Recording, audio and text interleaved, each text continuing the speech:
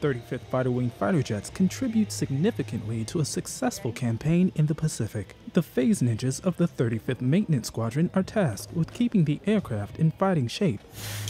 Today we're doing the six-year gear.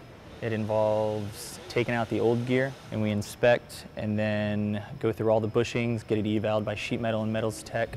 We'll swap over all the components from the old gear onto the new parts of the gear, throw it up, and then we'll ops check it. The six-year gear swap operation is a fundamental part of a jet's life cycle and it requires a team of 7 to 10 people working per shift. We're just here to tear it apart. It's real meticulous and put it all back together as best we can. The entire process takes 4 to 6 days to complete. Petty Officer William Berksteiner, Misawa Air Base, Japan.